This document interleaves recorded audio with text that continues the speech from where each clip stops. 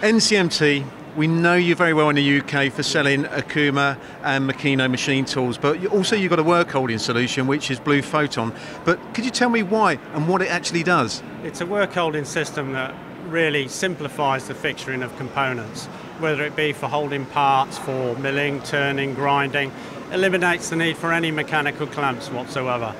Uh, it basically entails entails three elements. You've got the UV light source, uh, you've got grippers that are incorporated into the fixture, and then you've got an adhesive that cures in a minute. So you can very quickly transfer a part that's been glued uh, using this adhesive um, within the fixture onto the machine very quickly.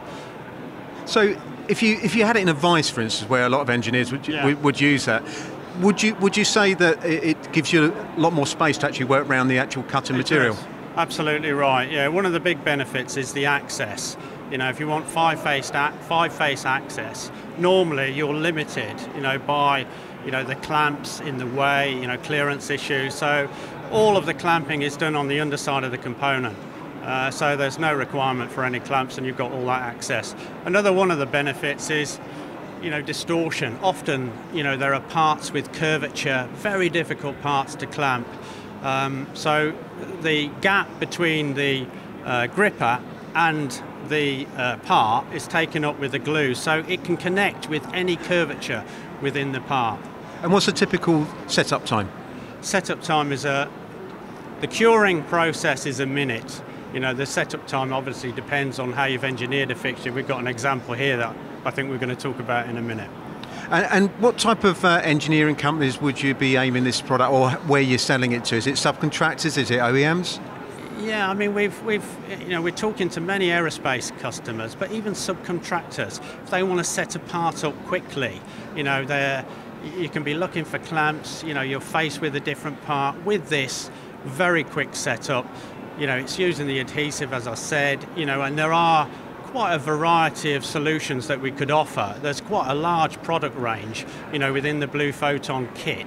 Uh, you could have a grid plate, position the grippers in various positions, uh, stops. You know, we've got a device which we can show you also, you know, a flexible clamping system for a tool room.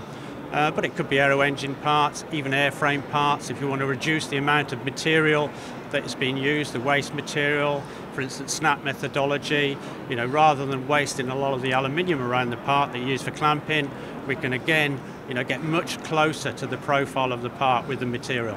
And when you talk about materials, are you talking about any type of metallics? There's no limit. We've not found a, a limit as regards, you know, the materials that we can use this on at the moment.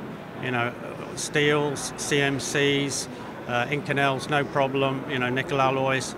There's no limit. And when you look at cost basis uh, uh, on Blue Photon against other work holding solutions, how does that compare?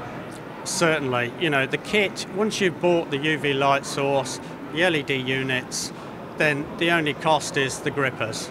You know, there's a five year life on the gripper, not a problem, you know, as regards reusing the grippers in other fixtures if you want to do that. Um, so it's very cost competitive. Thanks, Adrian. Thank you.